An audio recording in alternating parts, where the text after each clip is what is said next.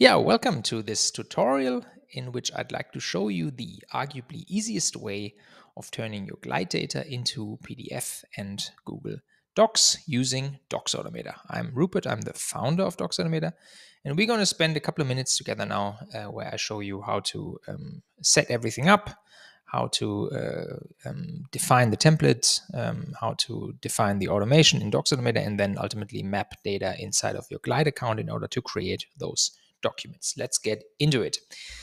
Uh, I have uh, taken a Glide template here, which is the applicant tracker template, and I want to build resumes for the um, applicants here, for instance, for Hugo here on the screen. Um, the first thing you always need when working with Docs Automator is a template that we can use. Templates are defined in Google Docs, and I've done that here before um, recording this video. Um, Docs Automator always uses this uh, template syntax with curly braces and then a unique name inside the curly braces. Here you see an image placeholder. Image placeholders are always given as image underscore and then a unique name.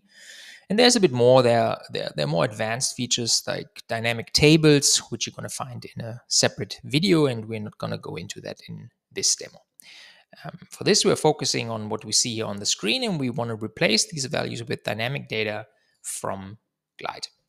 I go into um, my Docs account, as you can see here, app.docsautomator.co on the um, website. Um, oops, if you go on the website, you see that here in the uh, right upper corner. Um, and let me rescale my screen. It's better in the right upper corner. Um, and the first thing we need to do is create a new automation. Uh, give this a unique title. Uh, we call this um, glide resume doc. And then we select glide as a data source and we select the template um, here with this template picker. And then we have a few more options. We can say, do we want to save the Google Doc? Um, so if you want to keep the Google Doc, for instance, in order to edit it further, etc., then you can select that here. Um, the PDF expiration is really like on Docs Automator storage. So how long does Docs Automator keep the PDF? Because Glide creates a copy of the PDF right away. So I can leave this at immediate, like the PDF gets deleted basically right away again after Glide has taken it.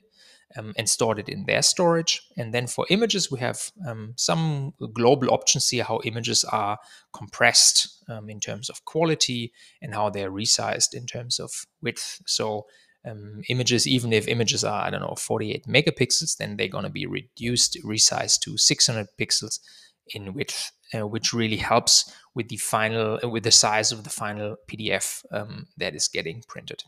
So we have done everything we need to do here inside of the Automator account. Um, I will copy this um, ID here because because we're gonna need it.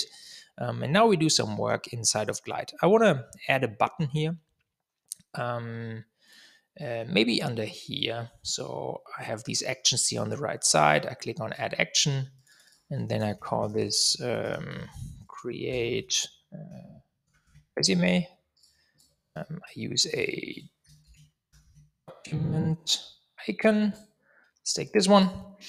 And then I can select Docs Automator from the integrations. Um, so there is a native integration for Docs Automator. I can click on generate document. Now I need to add it. I haven't added Docs Automator to my account here. I click on add.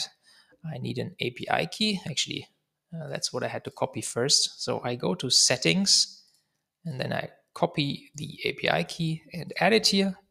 I give my um, email address, which is doxodom, uh, rupert at in this case. Um, oops. And then um, we need to define the template ID um, now. Basically, I go back to my account back to the um, automation we defined. I copy this template ID and I add it here. For the file name, um, let's call the file according to the name of the applicant here. And then the output, I have a um, PDF field where I want to store that output. Um, let me actually clear that field in case there is still something in there. Um, yes, this. There we go. So now we have um, defined everything except for mapping the data itself. So I click on add value and then on the left side as a key, I give the variable name in my document. So here you can see that um, name is all in small letters, so that's important. Uh, we're going to use that as well. Uh, name, and we map it to the name of the candidate. Perfect. The next thing is um, level.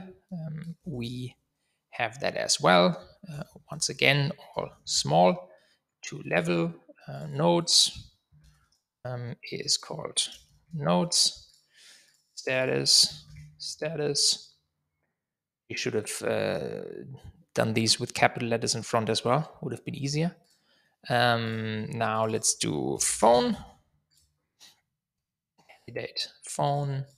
And we have email. Email. What else do we have? We have a um, status we already had, uh, notes we had, um, position. Position is candidate and then um, it's called level. And then I think we're only missing the image and the date. So let's do the image. Um, as you can see, like then the the order doesn't matter here. Like we can we can um, the order can be random. Um, image underscore uh, image underscore headshot, and then I map this to the photo uh, in my data storage.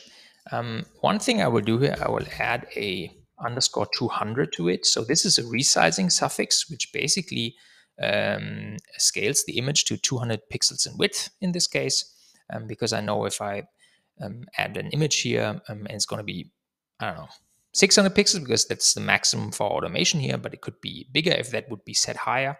So it would get very, very large and would expand um, or uh, look weirdly like would basically um, show cropped or whatever. So uh, we can just add uh, 200 in order to resize this to 200 pixels in width. And then we just need to map the date. So I said date. And here we have, where do we have that? Here we have a date. Um, one thing for dates, if I um, use a simple date field, um, it's not going to get printed as you see it here. So you will have to use a format date uh, column um, and um, basically format the date in um, however you want to you want it to be formatted. Um, this because this is a text that is getting passed then, so this basically produces a text, whereas this is not really a text in the background. So if I would use this, and I can do that for testing purposes, um, quickly to show you how it would come out. So I'm mapping the um, typical date field. then you'll see in a minute how that looks like. let's add a link for that um, which we gonna add here. Maybe more there. There we go. And then the uh, link links to the PDF. Currently, we don't see anything. The um, document icon. All right, and then we can click on Create Resume.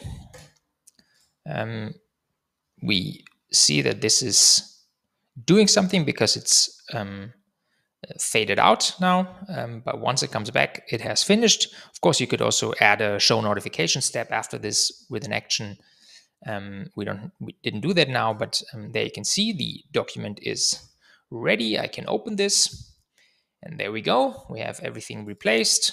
Um, uh, and here the date um, you can see what I mean. It it might not be exactly how you want this to come out.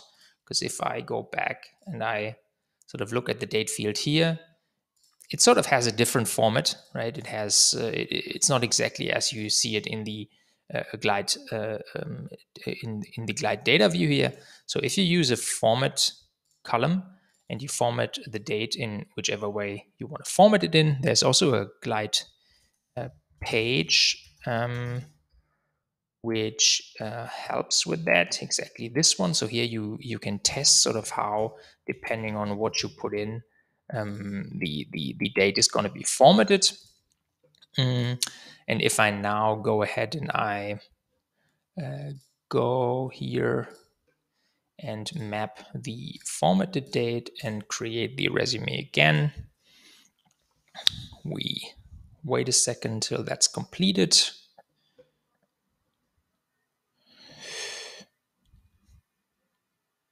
There we go, it's done. I open this. Yeah, and now you can see that the date comes out exactly um, like I formatted formatted it here in the data editor.